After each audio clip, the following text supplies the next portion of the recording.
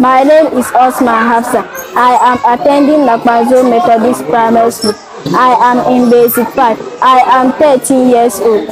I could not write well and read well. Because of the Read Alive, I write and read well.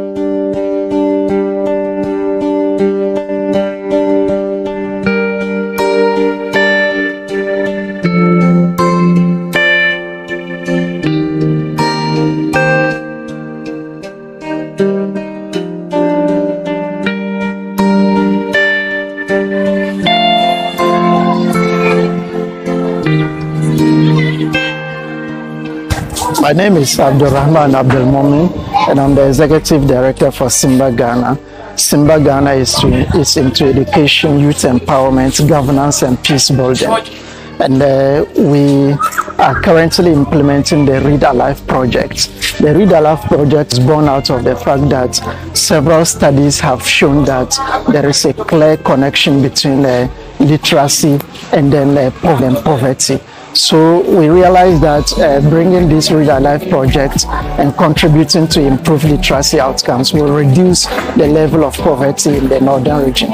And currently 100 uh, young children are benefiting from this project. And uh, we have also participated in the uh, local fundraising training in Kumasi last year and uh, through this fundraising training, we learned from some fundraising techniques uh, that we were able to mobilize resources in cash and kind to support the implementation of this project. And uh, also, we received some uh, support under the match funding from uh, WACSI and Wilde Ganzen and uh, this has been very helpful.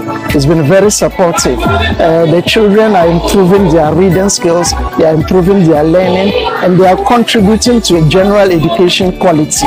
And uh, this is this is really really impacting lives and uh, in, in the northern region.